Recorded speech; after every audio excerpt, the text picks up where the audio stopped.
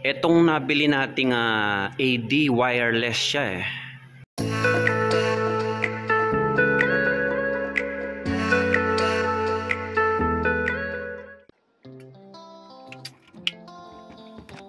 Good morning guys. Gandang araw. Ah, kung anumang oras sa lugar ninyo ngayon, ah, magandang gabi magandang tanghali. Ah, welcome back sa channel natin ngayon. Nagkakape muna ako at na-stress ako kakahanap ng venue. Ang event natin ngayon ay ah, wedding. Sa akin yung ah, lights and sounds nila at saka isang photographer. Dalawang event kami ngayon. Nasa kabilang event si Jay at saka si Alvin. Pageantry show sila doon sa Wild Orchid Resort. Mamayang gabi pupuntahan natin sila doon. Pakita kayo itong venue natin ngayon.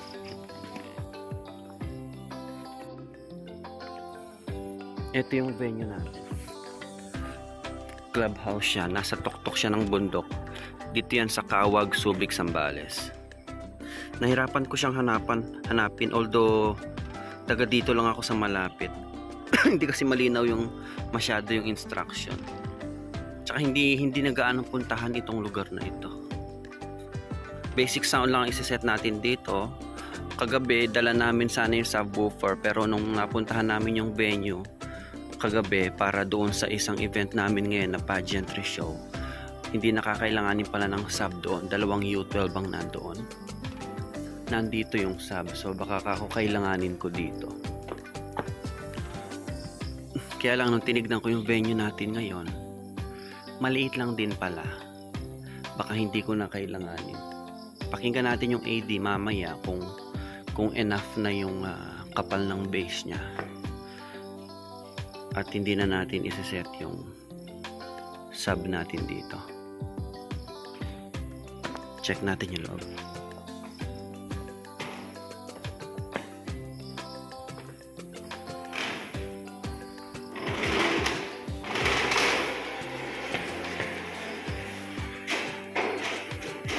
ito yung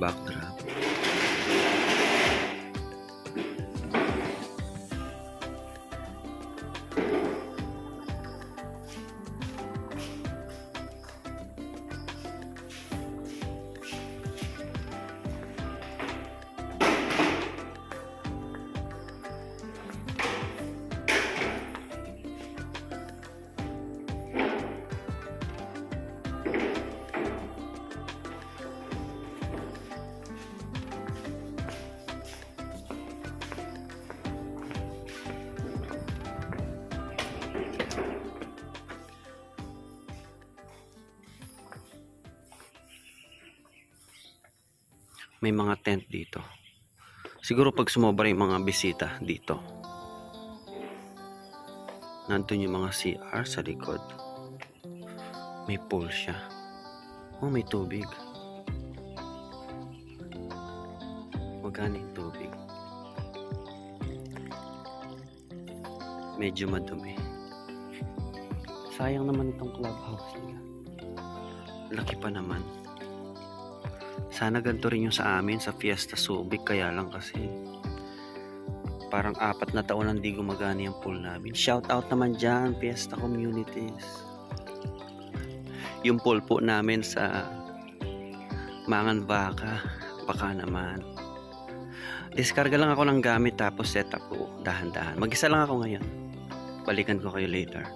Ito nga pala yung mga dala ko dalawang tripod, isang stand ng ilaw, electric fan, uh, sampung RGB na power LED, extension wires, uh, ang laman nito, dalawang amber white, dalawang RGB na lumilights, subwoofer, pero ito hindi ko na ibababa. Extension cables, mic, mic cables, table ko, AD, wala pa yung bag natin from Prime Cases, sinaantay natin. Dalawang ADN UX15, DMX 240. Ano ba to? DMX 512, pero may 240 siya. Bira ko gamitin to eh. Yung uh, Soundcraft natin na maliit na mixer, may spare extension pa ako dyan. Patch cables. Laptop, isang Kevlar tayo ngayon, yung spare ko yan. Tsaka yung DJ controller, headset, ano pa ba yung mga ibang abubot ko nandun nakabalot ng tela. Kasi the rest nandoon sa kabila. Kasi mas basic ang set ko dito.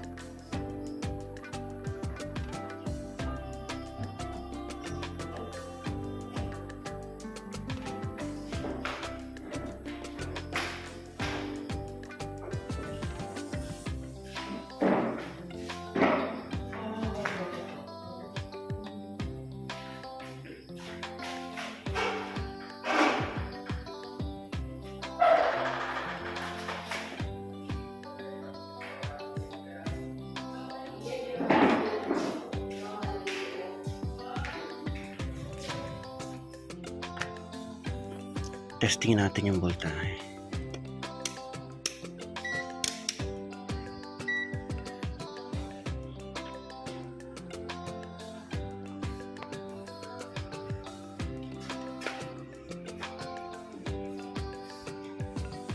Two nineteen. Pwede na yan. Stable sa 219. AD yung dala natin eh. DSP yan kaya I'll make sure na sufficient yung voltahe. Pag B3 ang dala ko wala tayong pakialam dyan. Hanggang 160 volts gagana siya. Pero pag ganyang DSP kasi kailangan wala pa siyang ABR eh. So okay to. Tapos na tayo mag-setup. So, pagkita ko lang yung uh, workstation ko. Since second setup ko to, meron pa tayong isang event doon sa kabila.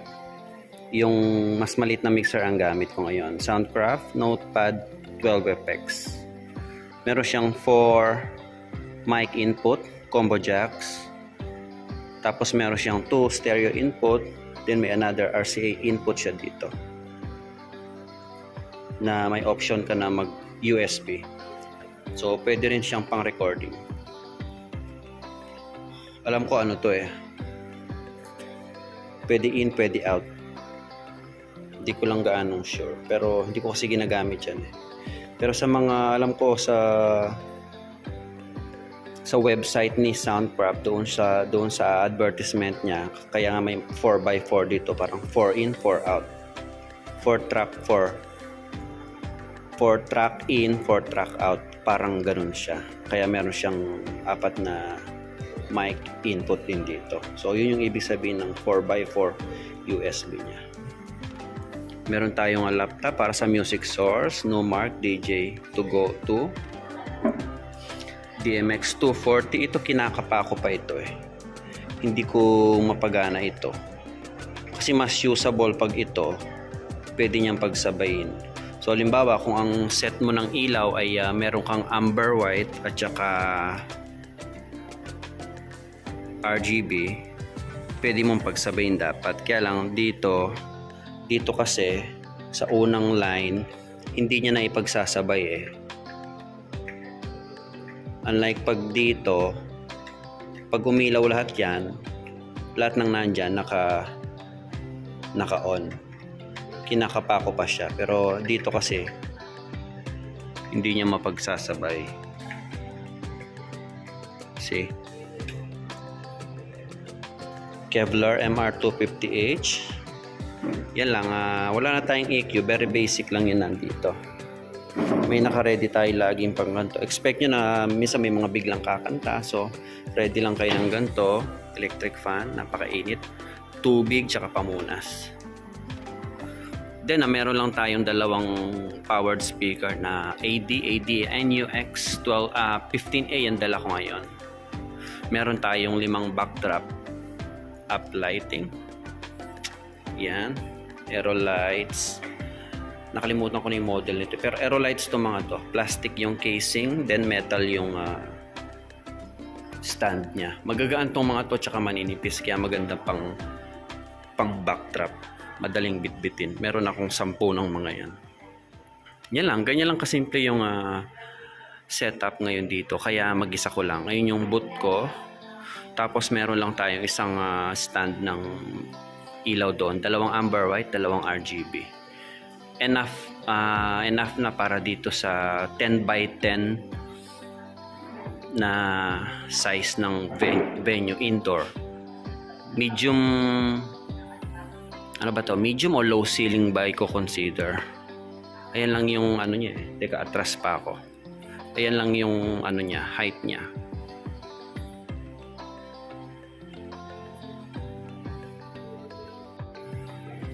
Etong nabili nating uh, ah, AD wireless siya eh. Play natin. Pakinggan nyo maigi mga sir at ma'am ha.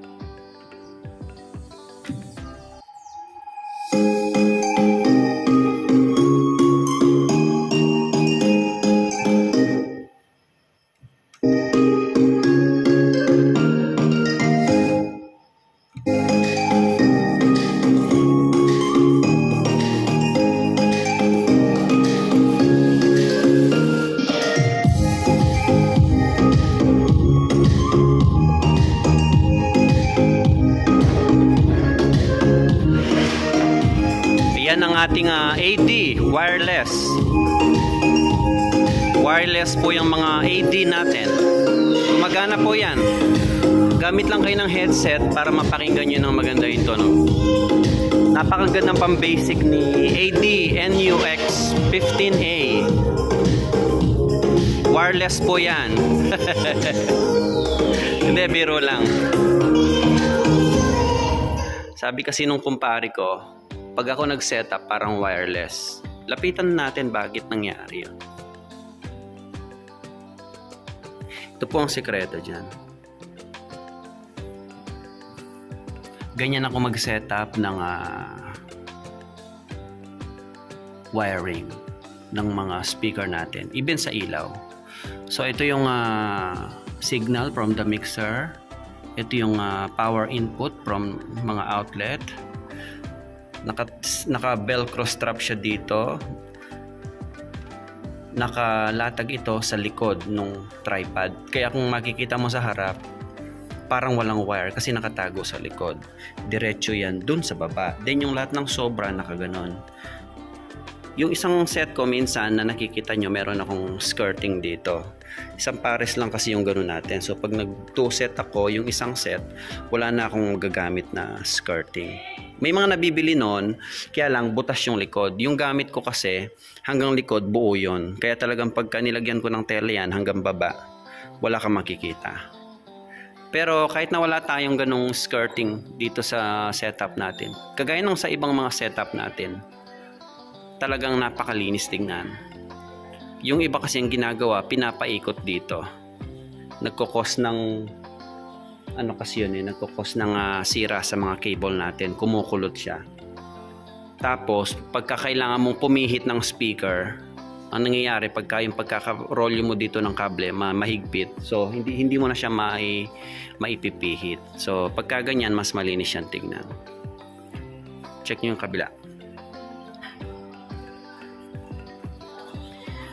so ganoon din yung kabila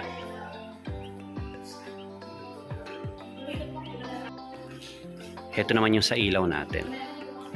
Halos ganun din. Tingnan nyo kung gaano po kalinis dapat ang pagkakable uh, natin ng ilaw, dapat hindi kayo lalagpas doon sa T-bar na yan. Kung meron man, dapat very minimal lang. Then diretso, doon sa likod ko inilalagay. Tapos ang gamitin yung extension hanggat maaari, yung sakto lang para hindi masyadong marami yung nakarolyo dyan. Uh, ito i tape ko mamaya para talaga nakadikit siya dyan. Pero yung mga yan, puro mga naka-velcro yan. Lahat ng sobra naka-velcro. Shout out kay uh, Sir Obet ng uh, Prime Beat. Sa kanya po galing yung mga velcro ko. Then yung maliliit na order ko sa Shopee, Lazada. So, ayan yung uh, setup natin ngayon, ganyang kalinis. Silipin natin yung kable ng mga pang-uplight natin. Tignan nyo halos walang makita kasi nakaganyan siya nakatago siya no kumbaga simpleng effort maganda ang eh, ano maganda ang epekto maganda ang kalalabasan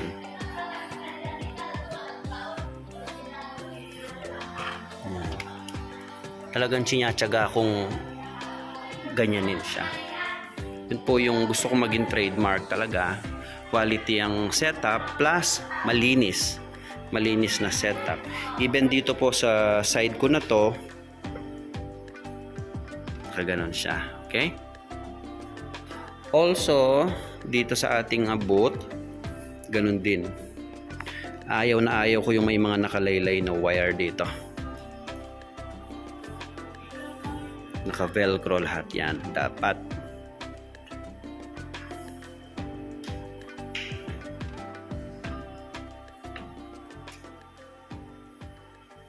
Okay? Even yung mga wire ko na maliliit na ganyan, naka-velcro yan. Meron yan sa Shopee, Lazada. Also, setup ko nga pala ngayon, naka-stereo tayo. Dito galing yung ating music source. Kasi mono yung nakatusok dito doon sa kanyang uh, combo jack.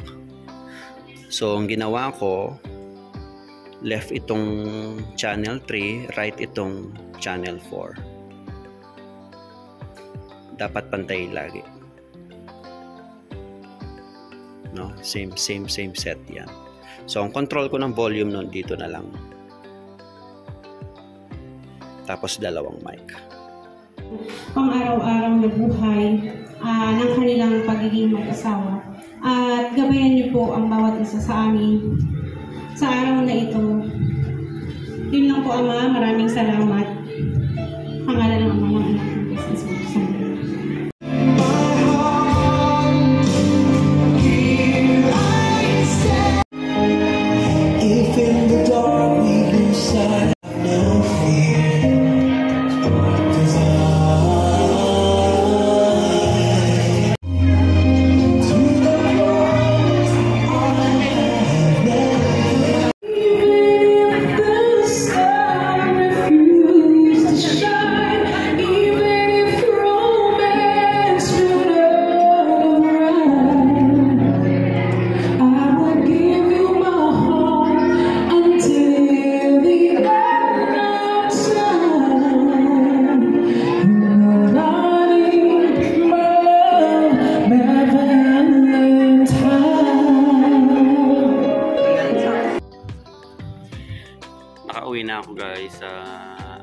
ang bilis ng ligpitan namin kanina dahil tumulong yung ibang mga relatives nung nasa wedding.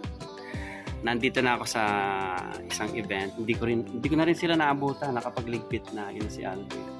Nasa Wild Orchid na ako. Naikarga na rin namin yung mga itong gamit. Nabayaran na rin tayo. Cheque yung ibinayad.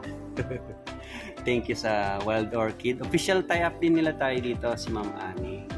Even sa Clark, minsan na kinuha din tayo no, sa Angeles. Kasi meron ding ah, branch ang Wild Orchid sa Clark. So, bilis din nilang nagligpit. Oh. Yan yung dalawang kolokoy. Yung palang bride doon sa wedding ko kanina, taga dito. Oo, dito mismo, empleyado siya dito. Oo. Kaya nga sabi ni Ma'am Annie, invited din sana sila doon. Sabi ko naman kay Ma'am, nagmadali pa naman ako magligpit doon para makapag-shoot ako dito ng pang-post natin eh hindi na rin nakuhanan. So, yun guys, papaalam na kami at ah, medyo pagod-pagod na, pagod-pagod ng Sabado-Linggo bukas sa panibagong linggo. Kita-kita ulit tayo sa ating ah, panibagong event. Another busy week. Bye-bye!